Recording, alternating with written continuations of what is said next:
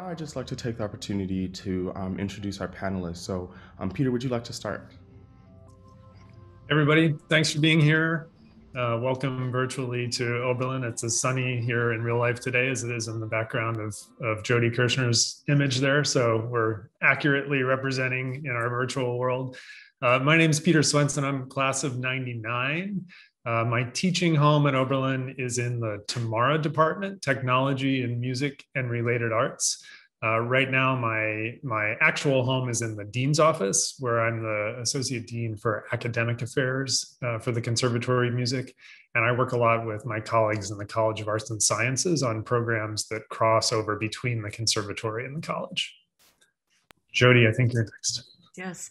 Hello, everybody, and welcome. Thank you for joining us today virtually at Oberlin College and Conservatory of Music.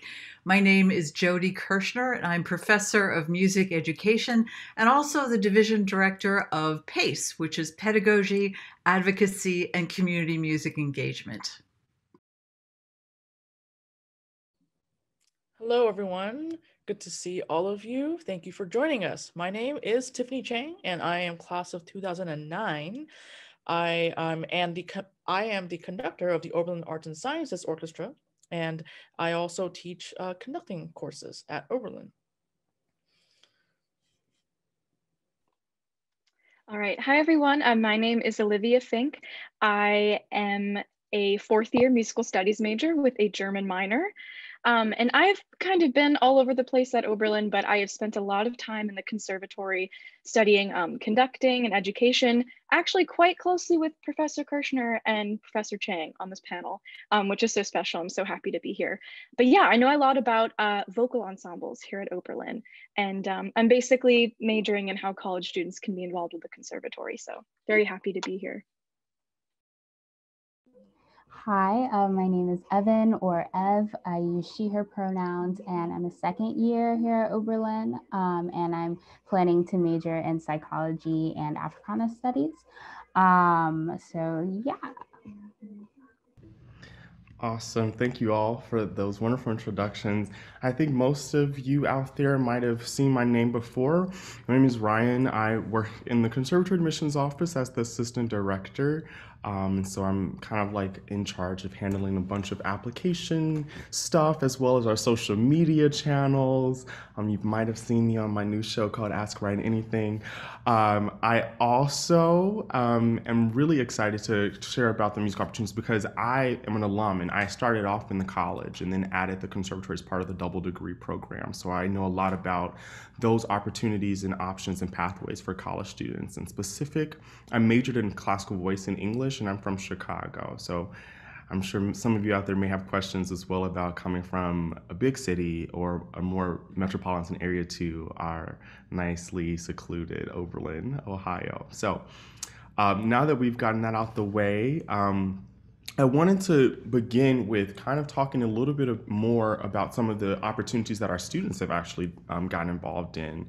So, as Olivia, you both have talked talked briefly about some of the things you've done musically I'd love to know a little bit more. I think you mentioned that you were a part of um, an a cappella group. Can you talk a little bit about that?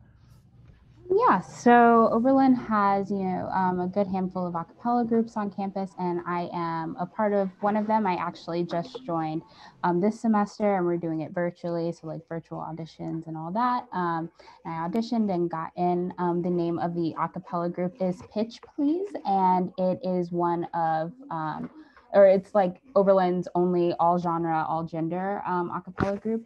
And yeah, so we sing a little bit of everything, um, and our rehearsals have been all virtual. So that's been really interesting to um, kind of be a part of that group and like see how um, everything's kind of shifted to virtual.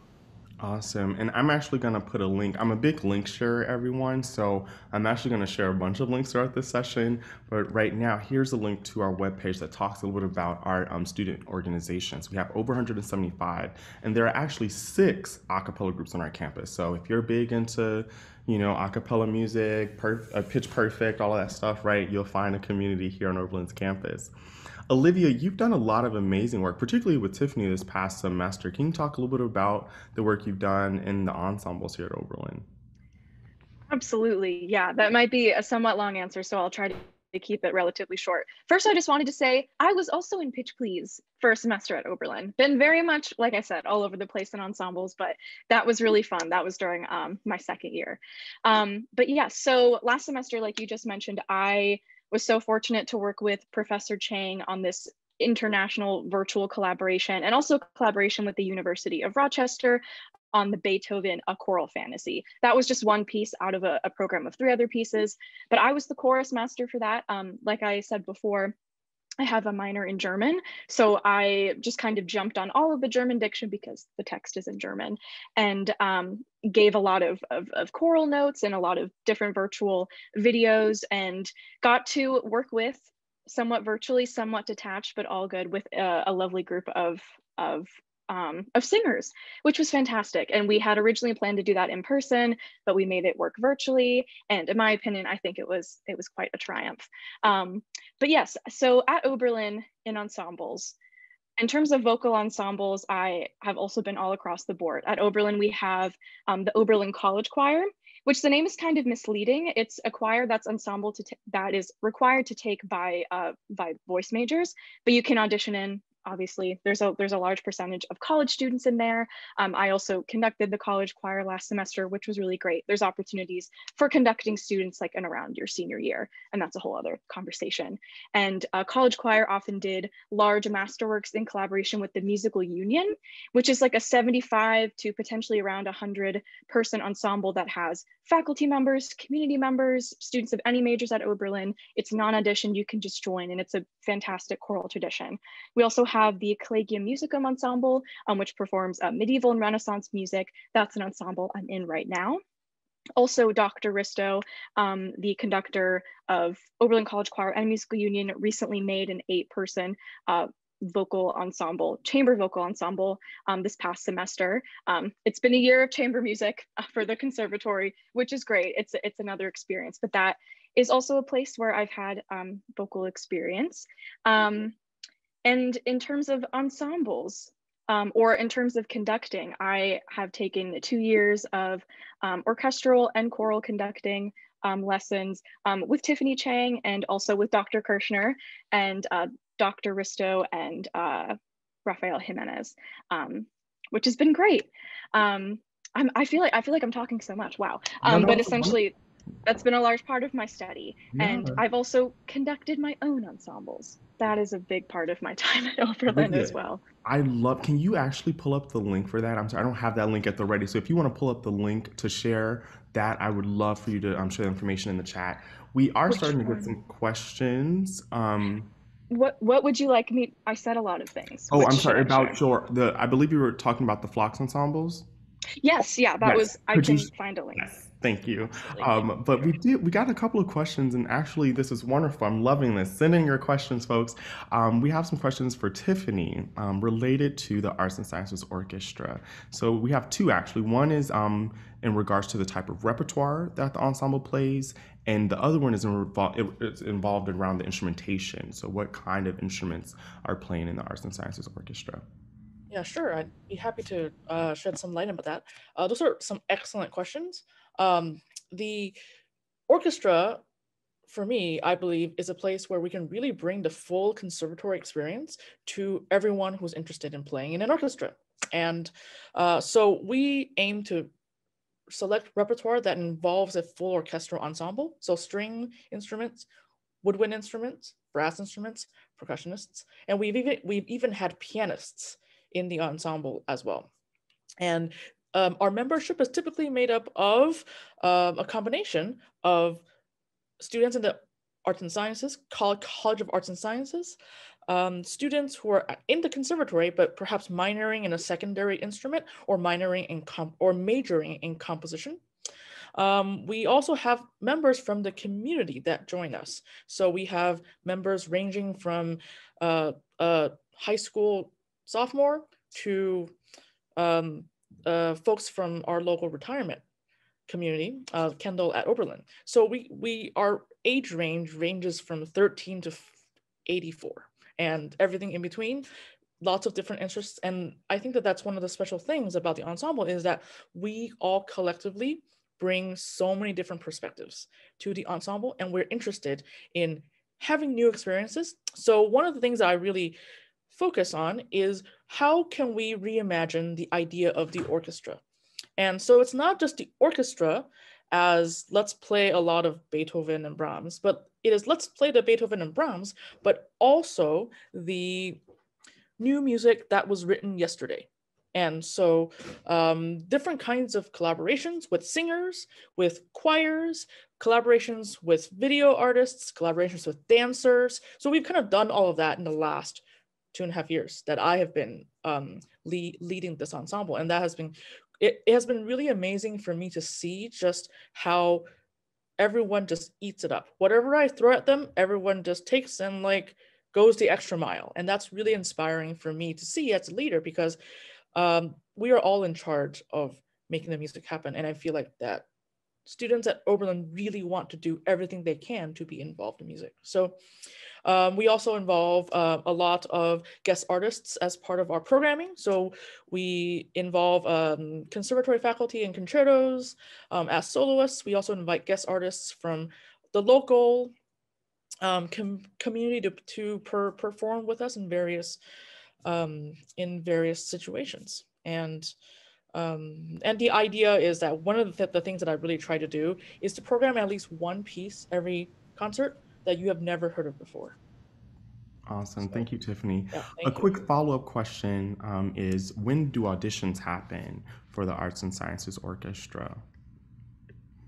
Sure. So auditions typically happen at the beginning of the fall semester, usually the weekend before the first day of classes. And uh, there will be signups typically beginning um, August 1st. And the repertoire for the auditions will be up also by August 1st. Um, having said that, the auditions are also rolling because we operate on a semester schedule. So even if you don't participate in the fall semester, you can audition during the fall semester for the spring semester. And so um, we really want to engage as many people as possible. So there is a rolling audition process as well. Awesome. And I just included the link to your ever amazing Instagram account and your website for the ensemble. So those interested in the Arts and Sciences Orchestra should definitely check that out.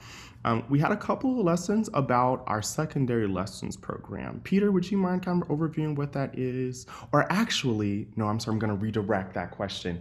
Jody Kerchner, can you talk a little bit about secondary lessons, considering that's kind of connected to our PACE division? Yeah, you know, secondary lessons, that kind of doesn't really sum up the, the value or the quality of the experience. Secondary is more of an administrative um, um, part of a, a, title, a label to keep those students who are taking private lessons as conservatory majors and those students who are taking private lessons in the conservatory with faculty or students, um, uh, but yet they are enrolled as a part of the College of Arts and Sciences. So secondary lessons refers to those students who are non-majors uh, taking private lessons with faculty or students. Um, students audition for uh, secondary lessons, uh, the private lessons, and depending on the availability uh, in a teacher's studio, depending on the area. Um, if this, the the ability level and the opening is available in a, in a faculty studio, then there might be a possibility for uh, students to study with a faculty member. Um, if there's not space or the, the ability level um, isn't uh, yet as developed as perhaps some of the other uh, students in the, the studios, uh, then they may be assigned to an approved uh, student teacher in the college, uh, uh, in sorry, in the conservatory, a major, a performance major, who has theoretically done um, pedagogy courses, ha- is still supervised by a faculty person. Um, Peter, jump in if I'm missing something. um, but yes, uh, one can take those lessons for two credits um, uh, with a student or with a faculty. That I believe the lessons are typically 30 minutes. Is that true, Peter? Yep. Right? yep. Yeah, you know, I think students, on the one hand, private lessons sort of might suggest that this is something on which you already have a lot of skills, but I think that these lessons are also used on our campus for students who want to acquire new skills or, you know, who perhaps uh, learned an instrument during um, their time at home and kind of picked up a secondary instrument on the side and now would like to study it. So, you know, it's it's sort of an open door in terms of what that means to students um, if it's not your major, uh, what what form those lessons can take, and then also how those lessons might intersect with ensemble performance. You know, if you're in an a cappella group, you might take voice secondary lessons, something like that. Also with the more official chamber music, if you're taking violin lessons, you might also be in a string quartet or you might be in Tiffany's uh, orchestra, you know, so there's a lot of that kind of connecting of the dots and the lessons are one piece of that kind of bigger network of, of performance opportunities. Yeah, you guys hit it on the nail. I mean, the only thing I would add to this is that given that Oberlin is focused on undergraduate students, this is a really awesome opportunity for our students to be able to learn how to work with their peers and, and other students and townsfolk in this way, right, to build those skills and kind of get those tools under their tool belt, um, particularly because oftentimes at larger universities, teaching opportunities go to graduate students. And so our undergrads get that opportunity to really work closely um, in one-on-one individual lessons. And I believe there was a specific question about how often they're offered, and they are offered for a half hour. We offer them for credit, and you can also take them for non-credit, and you'll just pay out of pocket for those lessons, but they're only $8 for that half hour. So probably a lot cheaper than lessons you've had to pay for in the past. Um, this question is kind of now really geared towards Peter. This is for you. Um, students is interested in electro music production, composition. Can you talk a little about opportunities related to that? Yeah, maybe the first thing to note is that actually secondary lessons are available in those areas too, um, in composition, in the TIMARA department, in um, jazz and jazz composition. Um, so secondary study is available across the board in the conservatory. Um, there are a lot of entry points for that kind of interest, and some of them actually reside in the College of Arts and Sciences. We have a lot of faculty um, and teaching staff in the college that um, cover topics that include music and sound production, either from a practical hands on point of view or from a, a, theoretical, historical, sociological, philosophical point of view. Um, in the conservatory, those entry points sometimes are formal um, courses that happen during the semester. Sometimes they're part of Oberlin's winter term. We can talk about uh, winter term projects.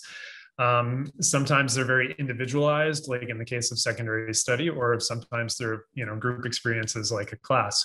Um, but just about all of our departments have have entry level classes, and the the TIMARA department, where my teaching home is, is is one of those. So we offer in a typical year, I'd say probably three or four at least uh, 100 level uh, classes that are the entry points for that kind of a work. Um, so our intro classes cover. Um, microphones and digital audio production and uh, the creation of original work. It's very much a composition, production focused um, program. So it's using the tools, but using them in the service of creating your own new music.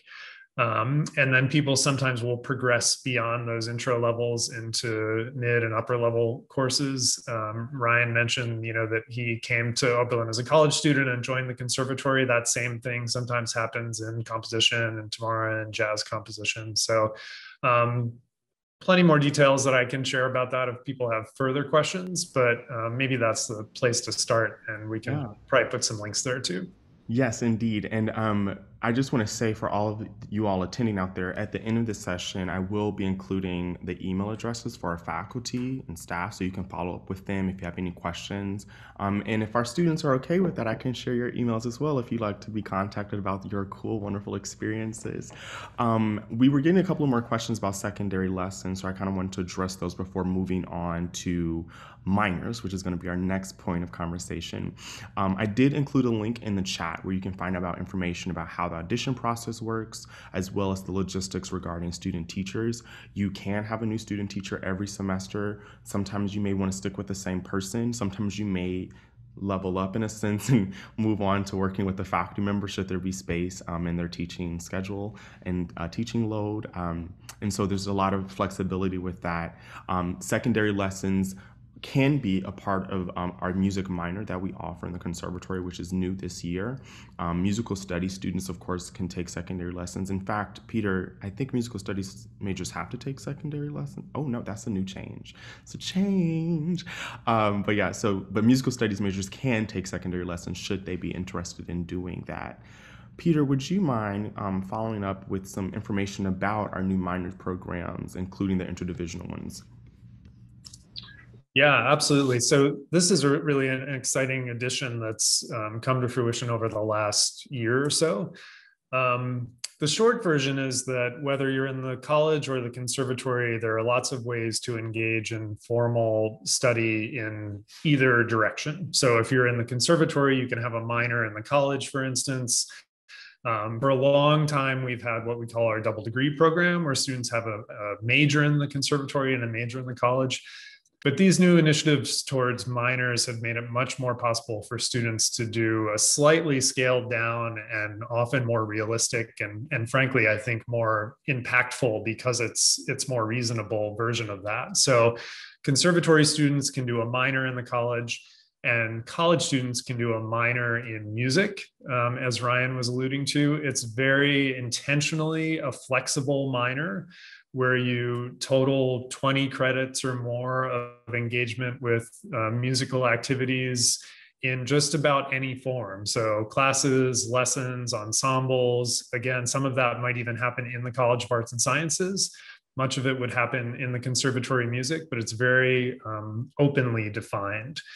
Then we have a new suite of more thematic minors that intentionally cross over between the college and the conservatory. and we can put links to all of these, but for instance, one of them is music and cognition. Uh, you know, Oberlin has a rich uh, history in the STEM fields, generally speaking, but particularly in areas like neuroscience and psychology, for instance, for an undergraduate institution. And so that's a an area where we, for the last decade, have seen a lot of students interested in combining what happens on campus in the conservatory and the college, taking their work in neuroscience and psychology and putting it in conversation with things like um, music theory, musical acoustics, um, composition and sound design and things like that. So these new thematic minors, and there are five of them total, are built around those kinds of topics that we have on campus. We have faculty working on these things, students working on these things, alumni out in the world.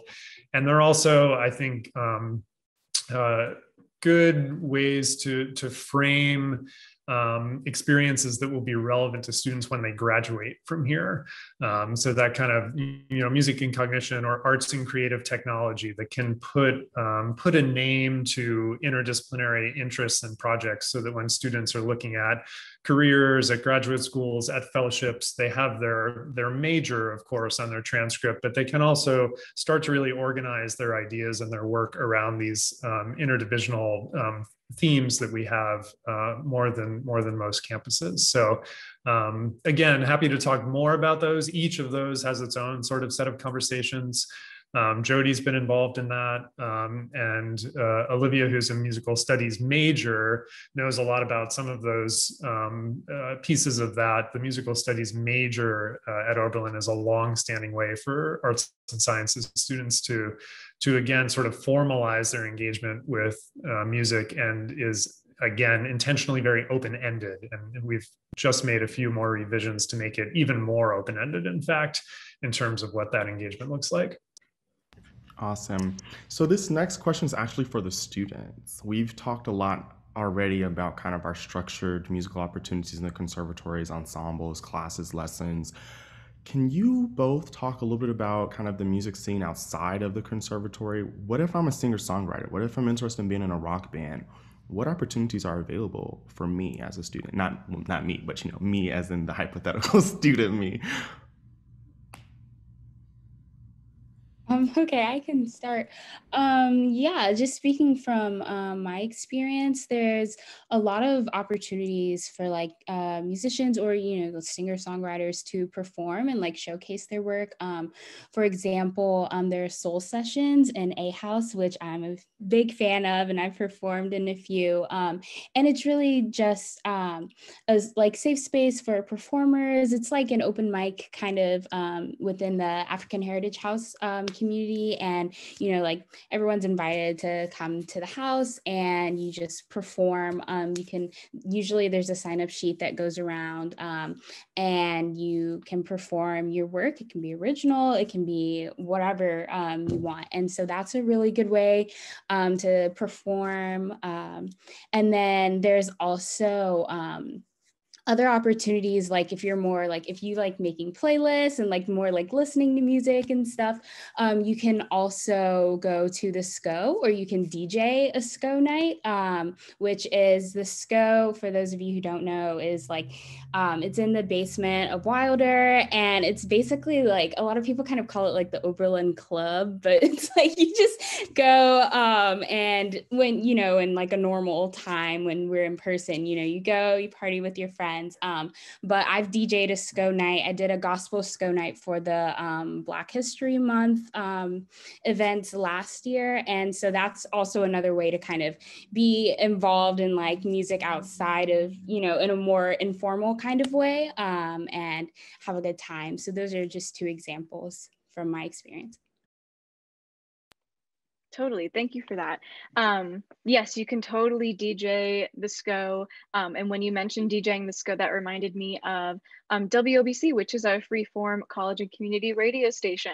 I have been the classical director, like a staff member at WOBC, and have had um, shows, I think, five or six semesters now at Oberlin, like a whole a whole slew of them. Um, that is a place to go if you love talking, because you can have talk shows, or if you genuinely love music and just want to share it with the college and community. Um, it also doesn't have to be music. It can be a hybrid of talk show. It can be a, like an interviewing show. Any essentially anything that's appropriate to put on air. Um, and that's just been that's just been a wonderful part of Oberlin, and is a big reason I'm surprised at how big of a reason it was why I wanted to go to Oberlin. That's one of the biggest things I remembered from my from my tour, my first tour. I just thought that was so cool. I'm like college radio. Wow, so fun. Um, yes, absolutely. Also part of um, WOBC and usually hosted in the SCO, but is now outside this year and happening this year, which is exciting. But we also have a cover band showcase, um, which is so fun. That's if you have a group that you love um, to play with um, together usually popular music, rock music, kind of anything you want to do. Um, that is a fantastic event. Um, so yeah, there's that. Also at Oberlin, we do have a large uh, folk scene. We usually every spring have um, a folk fest and we bring in um, lovely artists. I think one year we had um, Margaret Glaspy and also some other fabulous artists as well.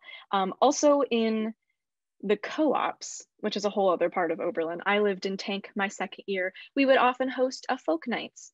And that was a thing known in the OSCA community where folk musicians in and outside of the conservatory would gather in a very intimate space and play music for each other.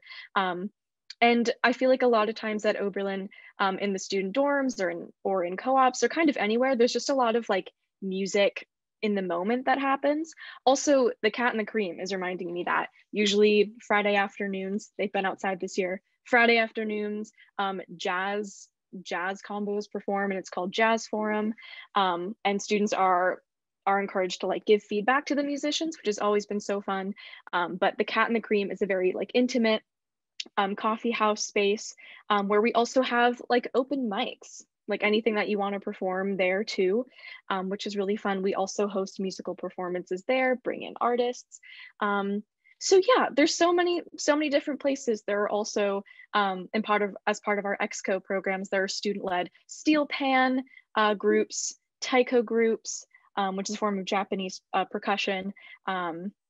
And we also have the gamelan ensemble. Typically, the professor that teaches that is on sabbatical this year, and the Brazilian ensemble. I could go on, um, but I was once asked in a in a student panel what kind of student like wouldn't fit in at Oberlin, and this was like I was with other students on this panel, and we all kind of agreed that students who don't like listen to or enjoy music, it might be hard because music is so diffuse at Oberlin and it it enters the the very most the smallest parts of students' lives in a very intimate way. So it's kind of everywhere. But those are a few examples, and I'm sure I'm missing some. No, you you covered a lot of things. Thank you for that. And I've included a bunch of links. So I hope y'all have that chat open because lots of links and lots of good information is put in there. And actually, I want to share a link to an FAQ that we created last year after doing one of these exact kind of webinars. A lot of you are asking some wonderful questions, and I think you'll find many of the answers on this FAQ. If you're interested in practice room availability, availability if you're interested in you know, music related to specific cultures. There was a question about Indian music, and I'm grateful for Olivia for bringing up the Javanese gamelan, um, specifically thinking of music from Indonesia. But there's all sorts of other groups on campus, so feel free to check out this FAQ. Just posted that in the link.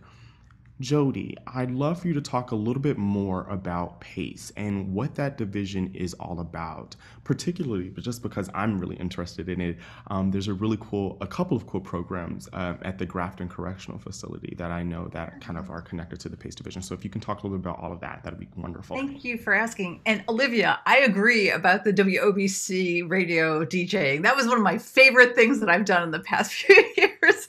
It's just one of those things that we do in terms of collaborations with students and faculty and just having fun too. It's not all just work and academic stuff.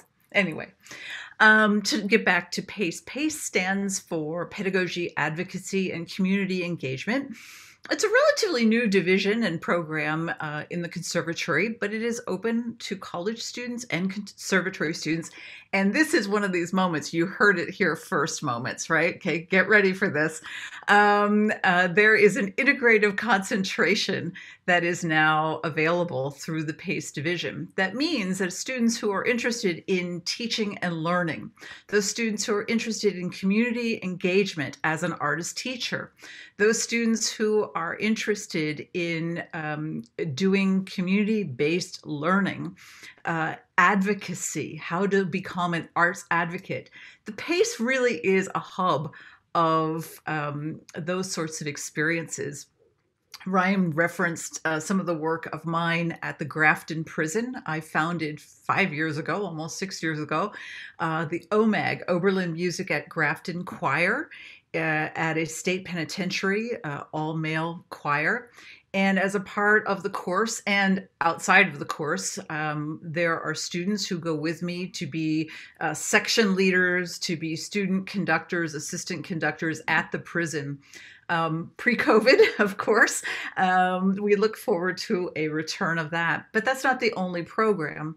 There's also a strings program. Rebecca Shasberger does Oberlin Strings pre COVID and hopefully post COVID, uh, where instruments from the conservatory are given to the men, loaned to the men at the prison, and they are able to take the instruments into their cells and practice and come together and form um, uh, a, an ensemble that performs a variety of, of musics and, and their own compositions as far as that goes. Also, then in the College of Arts and Sciences is a course that is led by Jay, uh, Janet Fiskio, um, and that is as part of the environmental studies. So um, Oberlin is unique in that we are looking at all the nooks and crannies, um, those places that might have been overlooked as spaces that can be safe spaces for musical engagement and musical access and social justice. And so um, we're really excited uh, that students who have a penchant for music and uh, engaging in the community and or specifically teaching and learning that this new concentration is available. It's not just the courses that one takes as a part there are four courses but also experiential components as in your own experiences maybe a winter a, winter term internship say that five times or a summer internship uh, some other project that you might be engaged in in the community uh, such that you learn the ethics of community engagement. So that's the overview, but um, it's very exciting uh, that there that this is available for the college and the conservatory students alike. Thanks, Awesome. Ryan. Yeah, thank you for all that wonderful information. Peter, um, I would love if you can talk a little bit about um, some some conservatory classes that college students can take, particularly related to composition. We're getting a lot of questions about composing, student composers in the college, and I'd love for maybe you can talk a little bit about the academic resources and opportunities we have available for them. Yeah, absolutely. I'm glad a lot of questions are rolling in about that. Um, I, I would echo what Olivia and, and others have said. I think that the you know music pervades campus here in a way that um, is is seldom the case. Uh, I think at, at most campuses. So it, it is sort of all around. And and I would I would actually extend that to the arts more generally. I mean, we're here obviously to talk about music, but I think that you know it it so naturally combines with dance and with theater and with creative writing with visual art and performance art and cinema studies and all sorts of other enterprises that are happening around campus. So i think a lot of what we're saying here could be extrapolated out to the arts more generally rather than just music. Um, you know it, I, I think it's it's pretty fair to say that there are very few courses in the conservatory that are not open to everybody on campus. Um, just like in any department, there are courses that require you to be working at a certain level. So just like in chemistry, you might have, you know, three or four points of entry, some classes that are designed specifically for non-majors, some classes that are designed as the first course you would take as a major and then depending on your interest level and and abilities after those classes you may or may not progress through mid-level and upper level classes. And really that is largely the same in the conservatory. We have some standalone classes that are designed specifically for non-majors for somebody who wants to come in you know doesn't have a lot of experience take a single class they're sophomore year, then maybe come back and take something else their senior year. So we have those in musicology and music theory and uh, in TIMARA, my department, and and in other areas. And as was mentioned earlier, we have ensembles that work like that too. Musical Union, for instance, um, who for somebody who maybe has some background in singing but is not a real high level singer.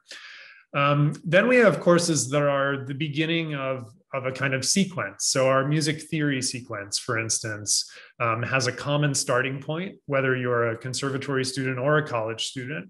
Everybody starts with the first section of music theory, and then you might progress further than that if you're interested and, and if that goes well. Uh, and that would be the case in, in the TIMARA department, in the composition department, in just about um, any department in the conservatory, there, there would be that kind of more formal entry point and then the possibility to progress. Um, and many college students do, in fact, progress and work at least at the kind of 200 level. Um, typically, the, the upper, upper level classes in the conservatory, um, while they are available to anybody who's made it through that sequence, you almost would have had to have been a major in the conservatory to kind of get that far by your junior year. Um, uh, so often college students are taking 100 and 200 level classes. Um, although even as I say that, I'm thinking of a lot of exceptions that I know about of college students in 300 level classes. So I, I, I think I go back to my original answer, which is there are actually very few things in the conservatory that aren't uh, available um, to college students. But but I would the only caveat I would add is to think of it as that kind of sometimes sequential pattern, just like it would be in any other department around campus. Um, Ev, I know you're, you're just in your second year. Olivia, you're in your fourth year. I mean, I know Olivia, I know from seeing your transcript that you you know you've taken upper level classes in the conservatory i say that as a musical studies advisor not as someone just stalking olivia's transcript um, but i don't know if you want to talk about that a little bit about your, totally. your experience of kind of working up through there yes i wouldn't mind if you did i have nothing to hide um, but no i really um, took a liking to music theory. Perhaps maybe it's nerdy. I know the music theory cycle is usually usually a cycle that a lot of students kind of want to like get out of the way as much as we love our theory professors. Um, it's just it's just the rudiments of of music knowledge and it's being revitalized right now as we speak, which is really exciting. But no, I took music theory one and aural skills one through four, um, which musical studies students are not required to do. I think you have to take two music theory courses. Um, and I'm not remembering exactly aural skills right now, but there is a music theory element to musical studies.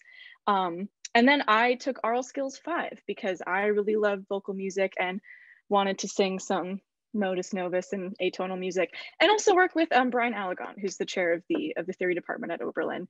Um, and because that semester was a COVID semester, it ended up the second half kind of being like a private reading with him on on like kind of dissecting a piece of a piece of work that I that I wanted to do in a very like theoretical framework.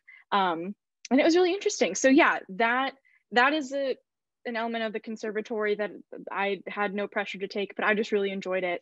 And um, I will say that from my first day, first semester at Oberlin, I made my way into like a music theory class, um, which those classes, as we know, um, college students might be intimidated because they are reserved for conservatory students who like need that for their degree. Um, but I'm quite persistent. And like, uh, like uh, Dean Swendsen said, um, there's little classes that that college students wouldn't be able to take if you want to take them. So yes, music theory. Awesome. So much wonderful information and so many wonderful questions in the chat. I want to kind of follow up there talking about academic resources and opportunities. There was a question about um, jazz studies and classes for beginners, and I just want to highlight a couple of opportunities. One is our um, beginning voice class. I'm not exactly sure about the, the, the specific course title, but um, Professor Lisa Stidham um, teaches this class for non-voice majors in the conservatory as well as college students who are interested in developing their vocal technique and getting more comfortable with singing in public and around people. And so it's a wonderful class if you're interested in learning more about um, vocal arts. Um, jazz students actually have great access to the jazz studies department. It really is open in the sense that you'll do an audition in the beginning of the year, and based upon that, if you have the harmonic vocabulary and the chops to keep up with the, the students uh, who are majoring in the jazz studies division, you can be placed in some of the combos or even the um, our Oberlin Jazz Ensemble. And so there's lots of opportunity there. We even have um, kind of a small a small ensemble opportunity for our, our classical instrumentalists, and this is through our um, Arts and Sciences Chamber Music course that is currently being taught by our quartet in residence, the Verona Quartet. And so students who are interested in playing in quartets or quintets can audition to be placed into this class, and they even get um, individual lessons with members of the quartet. So it's a lot of fun opportunity there. Um, Peter, am I missing anything related to that? No?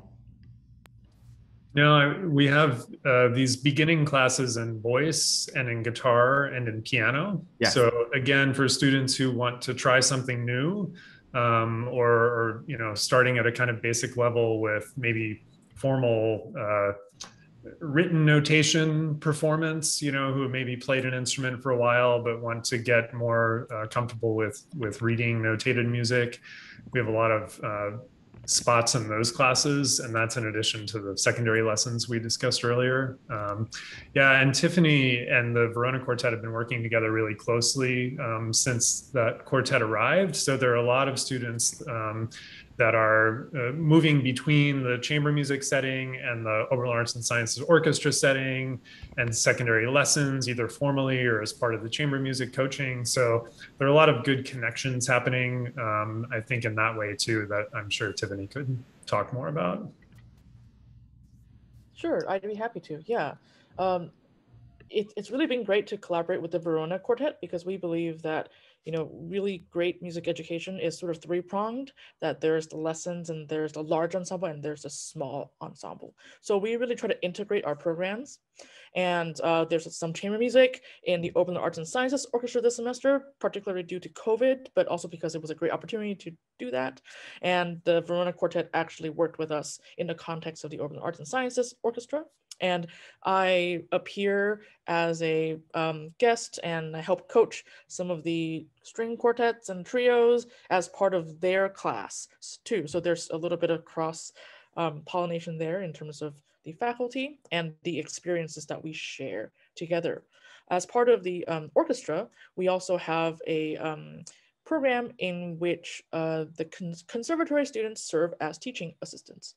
And these conservatory students actually teach private lessons as part of the orchestra program to specifically help the students who want that extra attention. So there's a lot of ways to get individualized attention, whether it's through this class or that class or the other class, and we try to really integrate everything.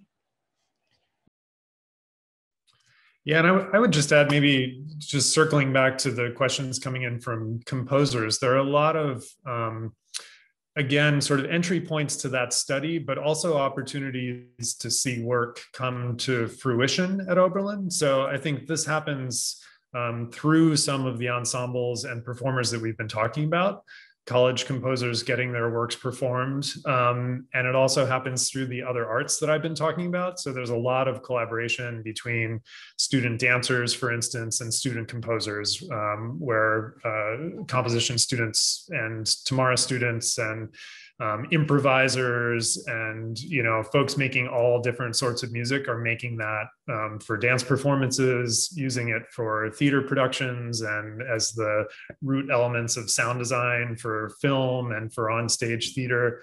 Um, we haven't talked specifically about some of the student organizations like OMTA and OSTA, which are um, put on, you know, full-blown productions of musical theater and um, uh, and other stage events. And then, um, oh boy, I mean, a, a, lot of other opportunities, often in the form of winter term projects. We had last year a film composer from LA, Adam Cohen, who's an Oberlin uh, alum who wrote all the music for the TV show Psych, if you've uh, been binge watching things over the last year. And Adam was here to do a winter term residency for which we had about 10 students. Uh, if memory serves, almost half of them were college students um, for that um, uh, winter term project. So um, again, I think a lot of both entry points, but then also ways that you can see that music come to life both formally and informally around campus. And you talking about OMTA and student compositions, I'm I'm reminded of Alex No, who um, was an amazing student here at Oberlin, musical studies student in the college who was very much so into musical theater and actually had one of his compositions performed. This is actually the perfect place given the tight knit community that is true to Oberlin um, and how pervasive and, and permeating music is here on our campus that if you are someone who's looking to collaborate with other students, or if you're a composer looking to have students perform your music, you'll definitely find a welcome community here. Um, and I believe also, I actually went to, there was a jazz composition major who was really into uh, musical theater. He was a big fan of Sondheim, and he actually had one of his pieces performed with students, like a mini pit orchestra at the Cat in the Cream Coffee House, during one of OMTA's um, musical theater reading workshops that they do each semester. So do look at that link I just put in the chat. AMTA stands for Oberlin Musical Theater Association. It's a long-standing student group here on campus um, that is dedicated to musical theater. And as a singer, I cannot say that I, I um, I have not like dabbled in a little bit of that in my time at Oberlin. I definitely love my musical theater. I'm seeing a lot of questions related to um, adding the conservatory, so I kind of wanted to address that really quickly. And then I want to throw some questions towards the students again. We're getting a couple of questions about kind of larger facilities and other genres of music that I'd love for y'all to talk about. But so basically, the process um, to add the conservatory, we call it the change of status process. And students who are in their first or second year are eligible to um, go through this process. If you're a third year looking to add the college, you definitely would need to kind of talk with some of the deans just to make sure that you're on track to graduate and that you'd be able to finish all of the requirements in time. Typically, those students will add the conservatory if they are accepted in their first or second year. Um, and that process is not too different from what students who might have already applied for the conservatory have went through. You won't have to do the common application though. We, we kind of cut that part out. What you will have to do is complete a form um, which is basically a short application that lets us know more information about the instrument area that you're looking to apply and um, and your background in music.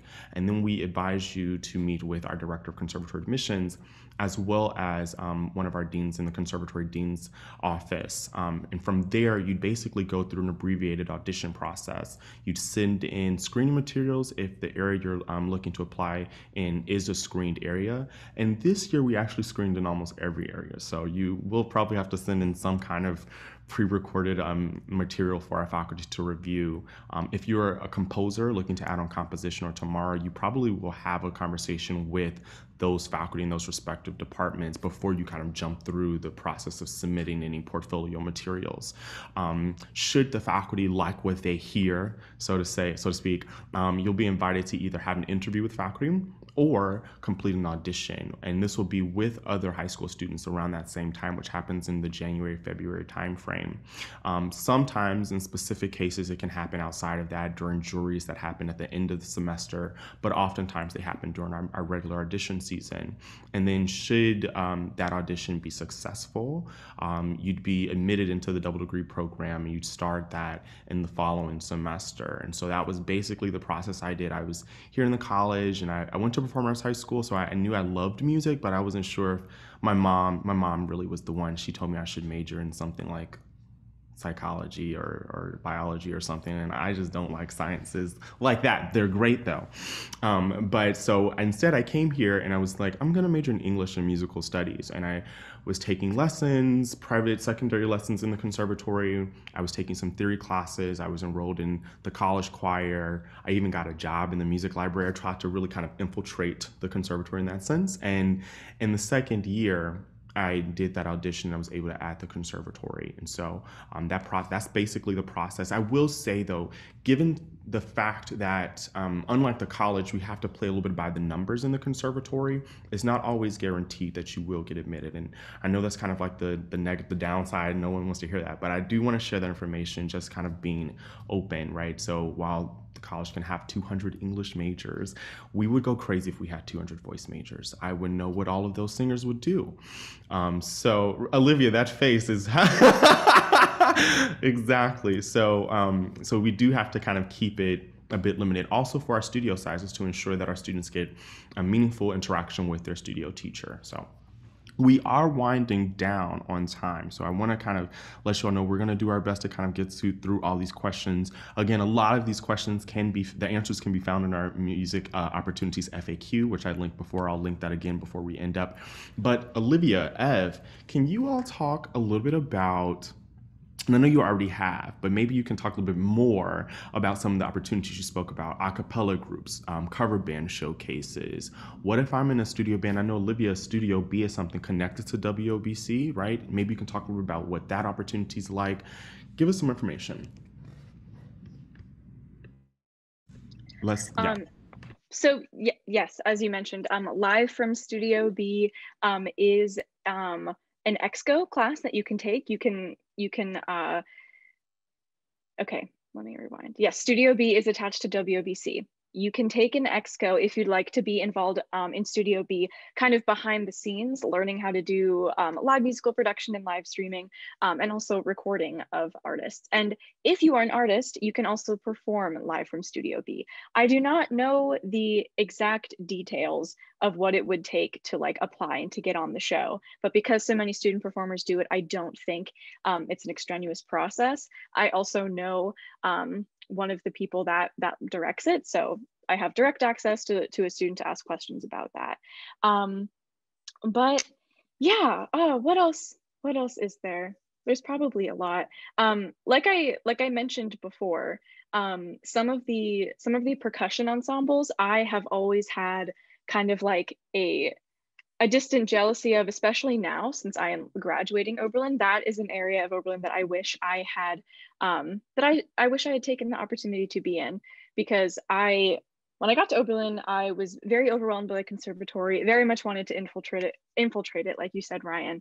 And because of conducting, I took taken like a very classical route, um, which is fine that's okay. But I wish that perhaps one of the semesters where I I wasn't in college choir or I wasn't I wasn't taking like an extra theory class or something, maybe perhaps I would have taken like Exco or or Steel Pan or another semester in Gamelan since that was cut short by COVID-19. Um, and there's also a fantastic um, year-long course in um, internalizing rhythms taught by Jamey Haddad, who is a professor of jazz studies um, and improvisation. And that's open to college conservatory jazz students. And that's something I wish I had taken. But yeah, very, very ensconced in the Western classical tradition, uh, which is fine, but that's not all there is. So those are those are some facets of Oberlin that I really wanted to take, and that I thought I would mention because they are very lively parts of Oberlin's campus again. Um, and again, the Brazilian ensemble taught by Professor Kathryn Metz, who is a professor of ethnomusicology um, in the conservatory, that you don't need any um, musical experience to join that. It's very welcoming, kind of in the same vein as Musical Union.